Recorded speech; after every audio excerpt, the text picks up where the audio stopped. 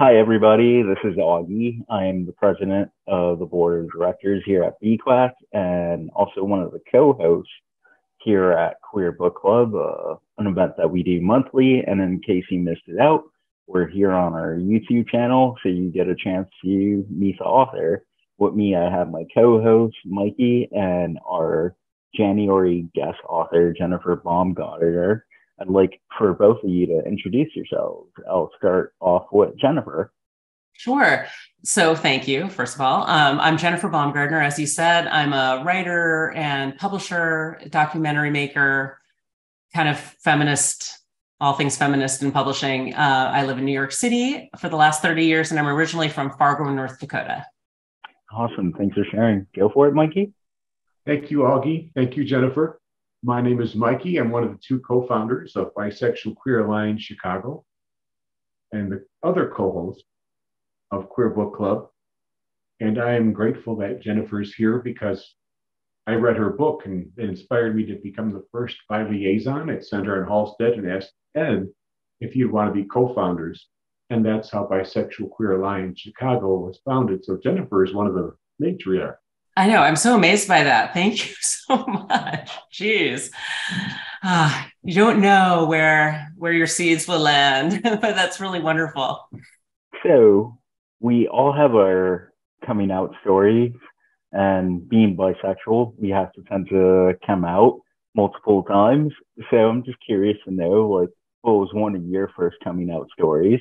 It was coming out to my parents for sure. So I was living in New York City. I had been here for about a year. I was 23, working at Ms. Magazine, and I fell in love with like one of the other young intern types there. And she had already had a girlfriend. She was a little more experienced. And um, I, I just sort of, you know, my parents weren't asking, like, are you dating anyone? It wasn't that I was lying, but it was a sin of omission. I just felt like by not telling them that this big thing is going on in my life, I am lying. And what does that mean about me and my ability to handle this? And like, you know, I, I think I was kind of like freaked out by the home, like knowing that I had any fear was also upsetting.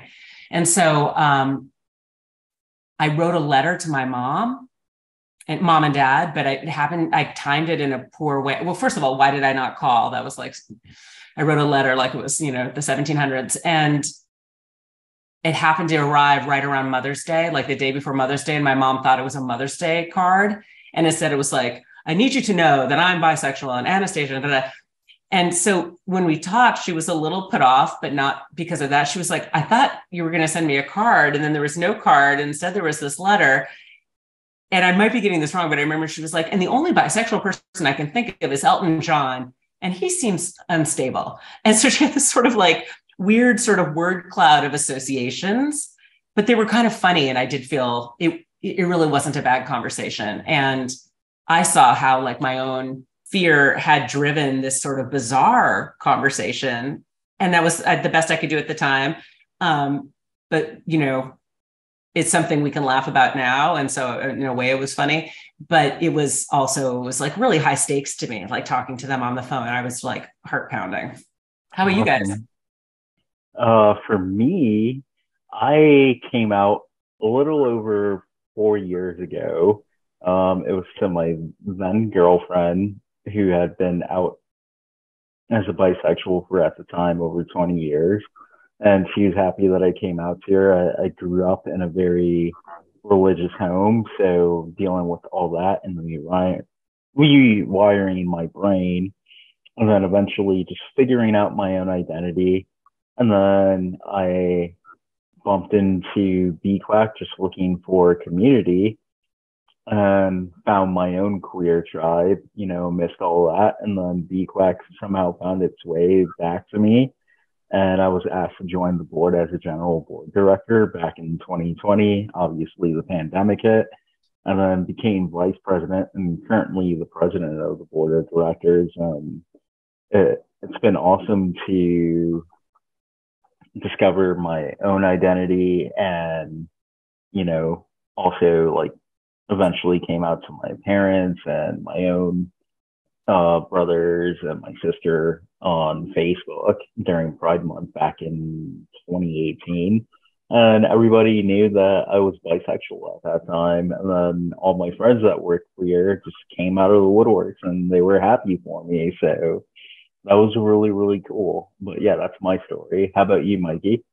Wow. Uh, first, because of all the trauma I've been through, I thought I was straight.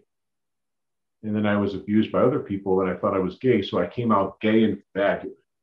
and I finally met the love of my life who was non binary. And I thought, oh, uh, okay, I'm not straight. I'm not gay. I'm not asexual. And then after reading your book, okay, I'm bisexual. And then after asking Ed to be co founder, I'm actually queer so I'm the queer co-founder of Bisexual Queer Alliance Chicago, and Ed is the bisexual. So I came out many different times at different. Yeah, it was. But the question I have is, you do documentaries as well, and um, the word survivor also came out to myself. I finally came out as survivor. Can you talk about some of your documentarian work?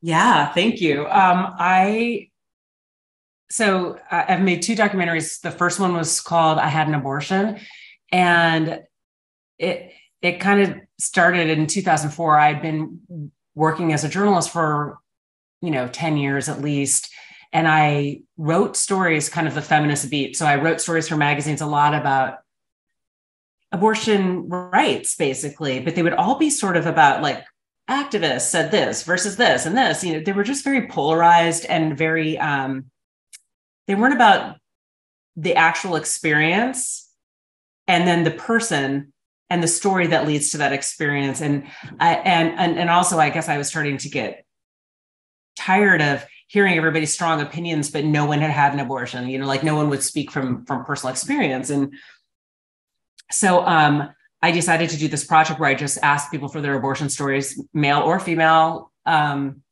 they did not have to have any party line or I didn't really want to hear the politics. And I was amazed. People sent me letters, you know, so many people wanted to share because it was a story that was really bottled up. So even though we talk about abortion all the time, we don't talk about it that way.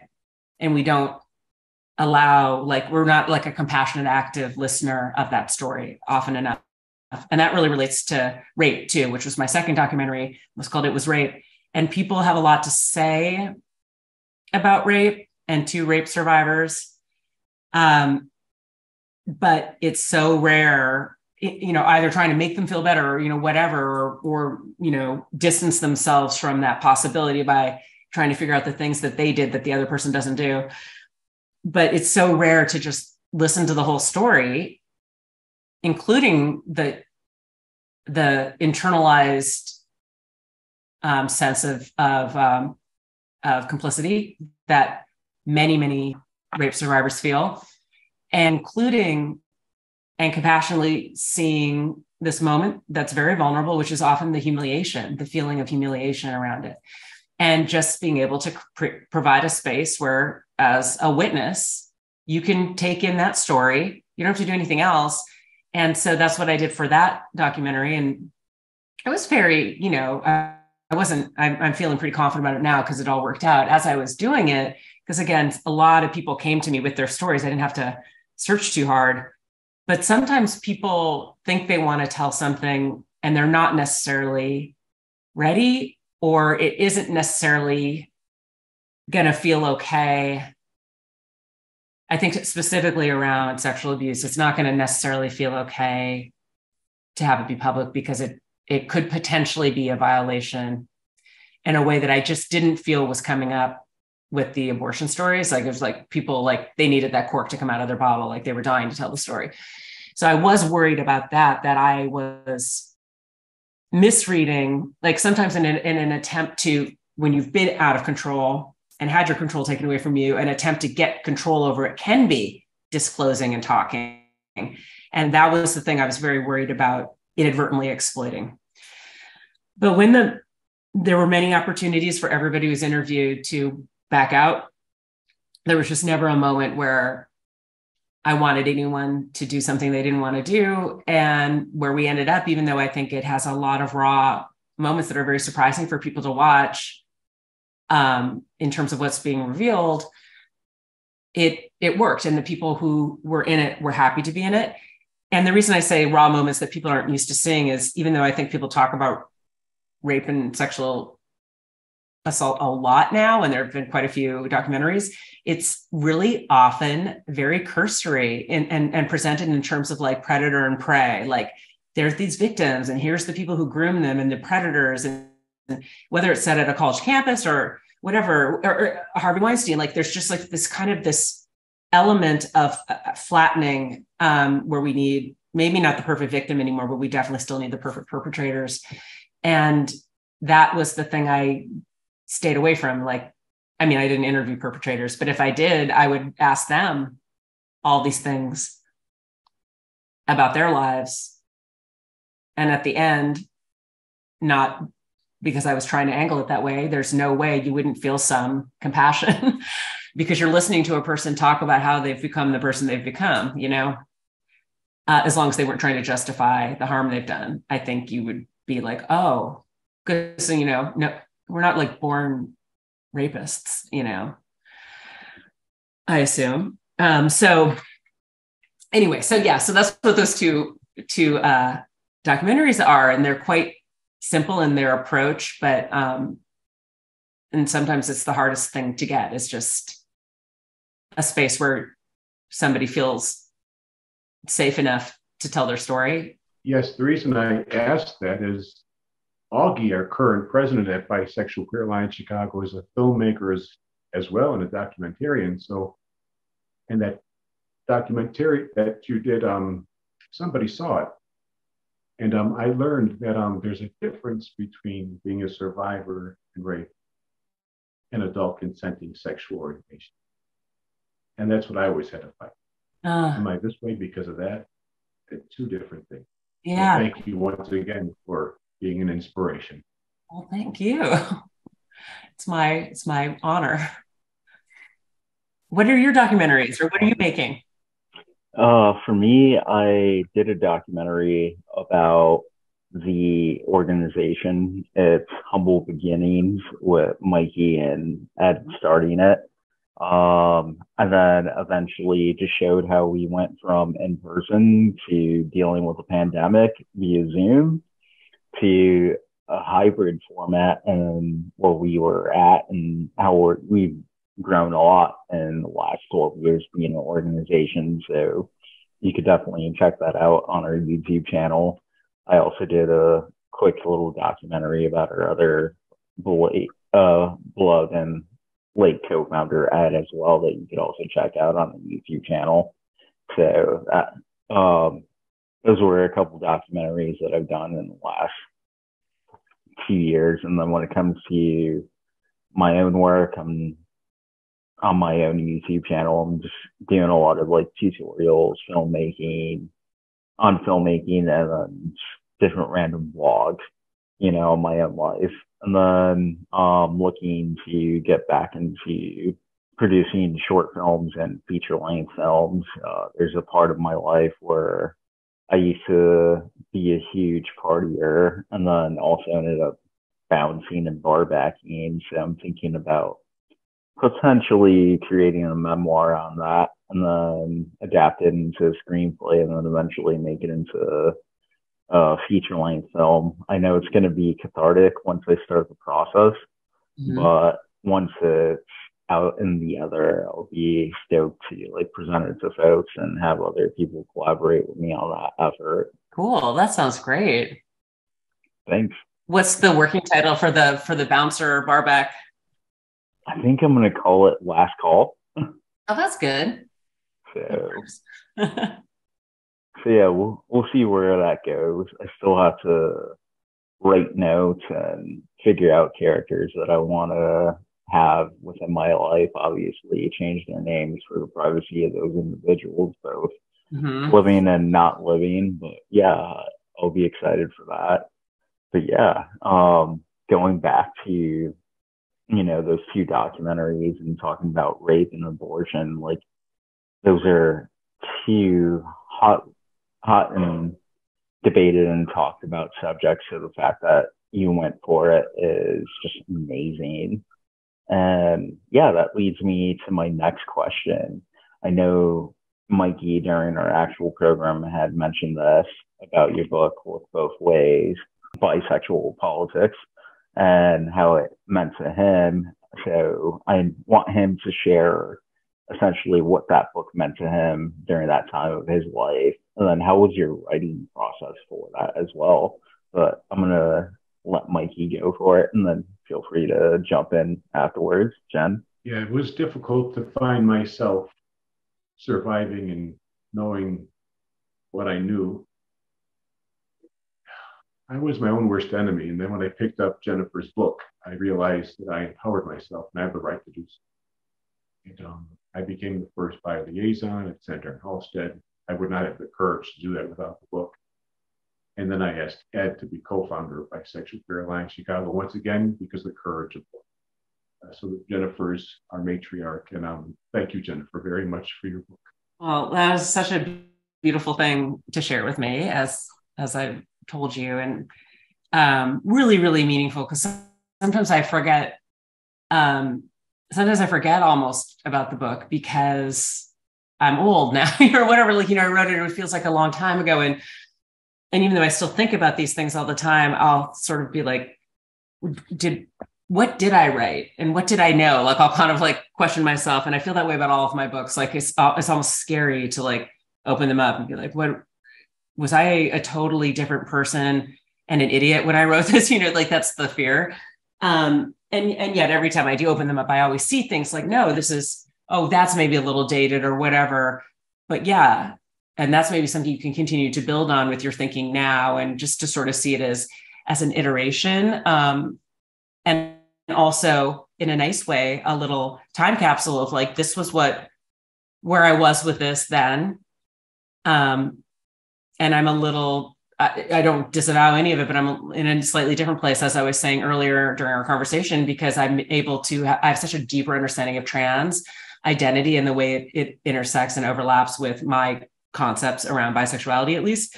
Um, but the writing process, you know, it was difficult the way writing is. Like, I got the book deal, and that's always fun. So you like you write your proposal, and then it sells, and then they like give you the first half of the advance, and that's all like just fun.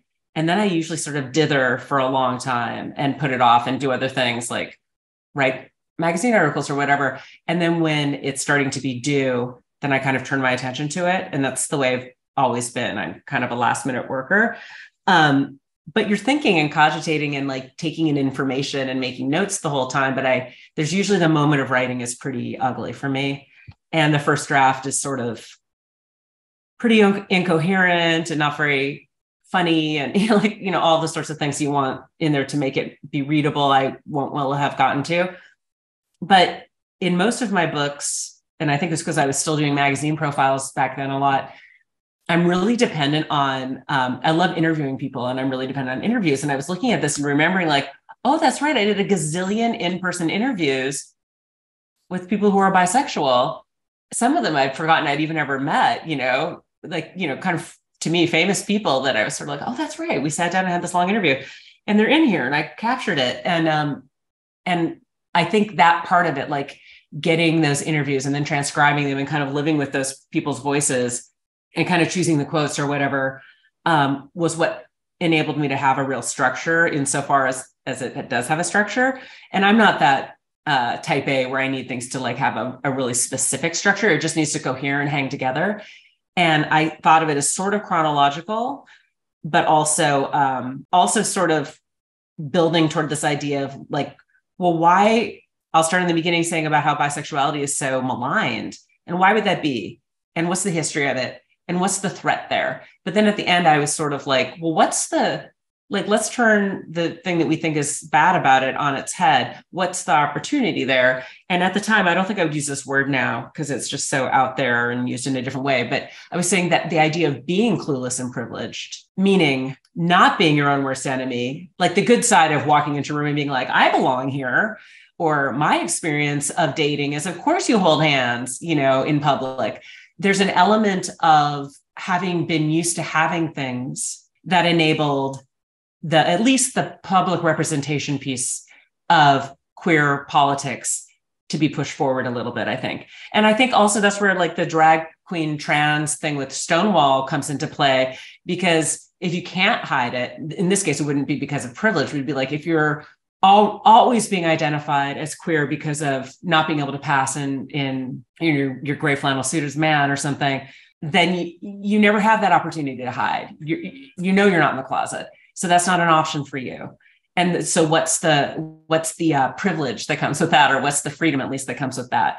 So I'm and I'm still interested in those ideas of uh, I, you know I I, I never want to be in a position of being like oh well the cool part of being privileged and ignorant is X because I think it's obviously does more damage to even the, everyone, you know, but even the privileged person to wallow in their ignorance. But um, in the case of bisexuality, when you're aware that there's some sort of threat or social cost to being queer, but you could still bring that part of you that's like, but no, I refuse because I'm used to living this way or whatever. I do think that there's a little element there. And I, I was thinking about like why, because my whole, you know, that Buddhist phrase, the way I think it's Buddhist, the way you do one thing is how you do everything. I always sort of triangulate, like I'm really scared of getting sucked into either vortex of anything, you know?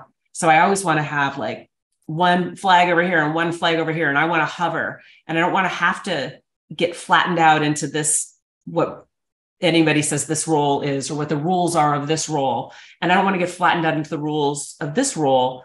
And I don't think I'm like so wildly um like unique or out there but I am really like what weirdness I have or what desire I have not to conform is really strong in me.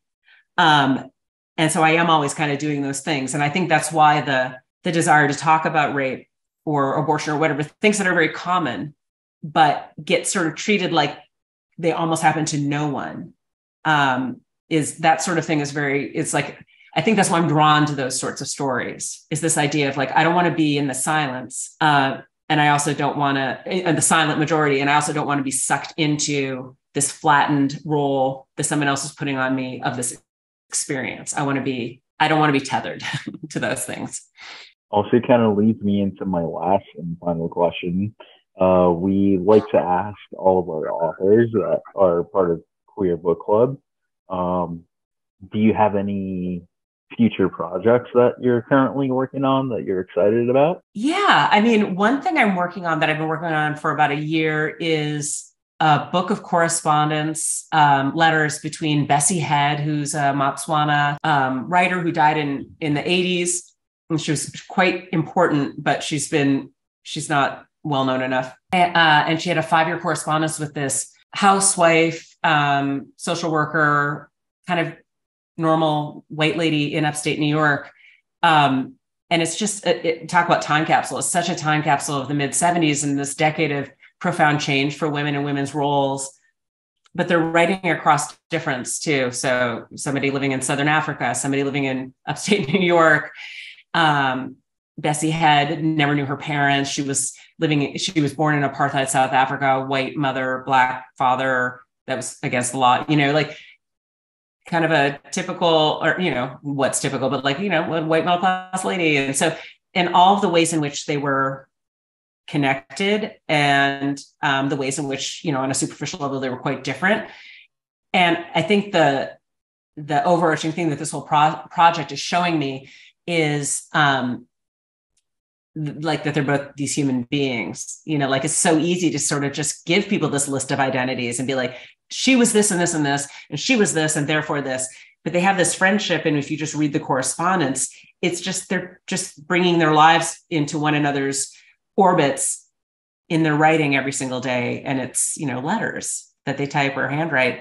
And so there's the beauty of that too of what things used to look like and the stamps and stuff and um, the Bessie Head, because she's quite famous in a in her way. A lot of scholars have used this correspondence, but it's never been presented with the other figure. It's like everything they've learned from this correspondence, but it's as if the Betty Fradkin, who's not famous, as if she didn't exist. So I like the idea of the relational element of it and how there's never just kind of one person, no matter how stellar they are, they're always in relationship to all these other people Um, so I want to, that's the thing I want to reveal right now.